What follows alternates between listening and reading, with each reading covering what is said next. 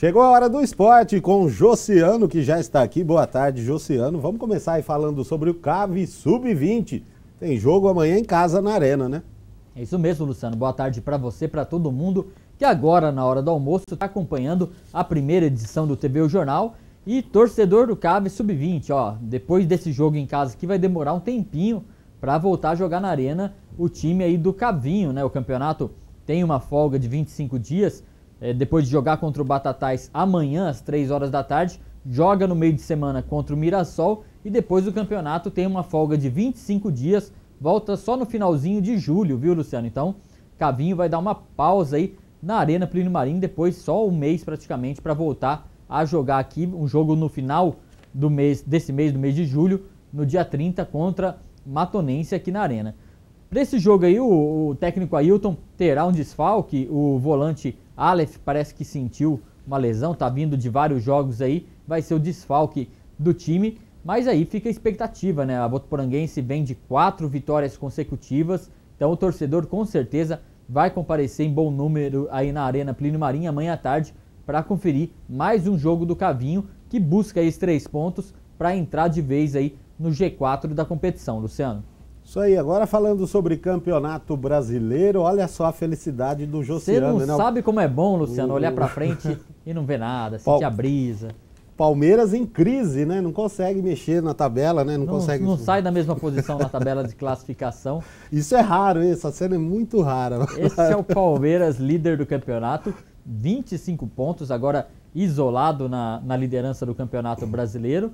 Uh, o Palmeiras jogou ontem contra o Figueirense na Arena e venceu por 4 a 0. O Gabriel Jesus fez dois gols, Dudu e também o Moisés jogou muita bola aí, o volante do Palmeiras e deu tranquilidade, né? O Palmeiras agora eh, tem alguns dias aí para voltar de novo a jogar pelo Campeonato Brasileiro. Além do jogo do Palmeiras, outros dois jogos na noite de quinta-feira, a Ponte Preta venceu fora de casa o Santa Cruz por 3 a 0 e o Atlético Mineiro fez simplesmente 5 a 3 no Botafogo, um jogão de bola, vitória do Atlético Mineiro.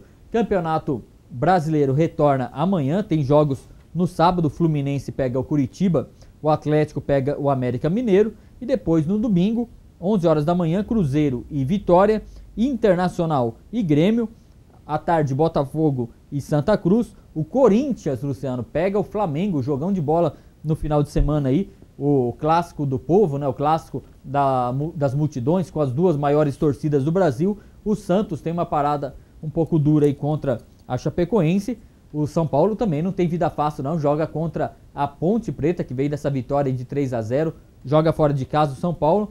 Depois Figueirense joga contra o Atlético e o Palmeiras encerra a rodada só na segunda-feira, segunda-feira, 8 da noite, o Palmeiras joga contra o Sport Recife.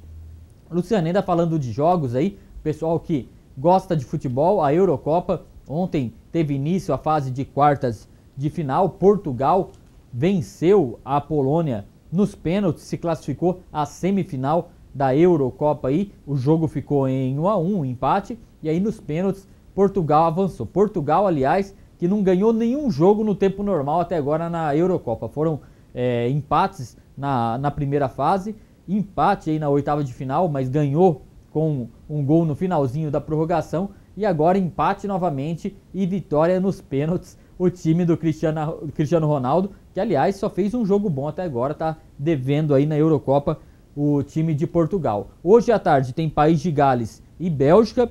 E aí no sábado, amanhã, jogão de bola, 4 horas da tarde. Torcedor, reservam o espacinho ali no sofá, na frente da televisão, para assistir simplesmente Alemanha e Itália. E encerra aí no domingo, 4 horas da tarde também, com a França enfrentando a grande zebra que é a Islândia, Luciano. Isso aí, Islândia desde pequenininho. Com certeza, é bem legal essa história. O time que é o, o, um dos menores países do mundo aí, está é, enfrentando aí gigantes na Eurocopa e ganhando cada vez mais torcedores.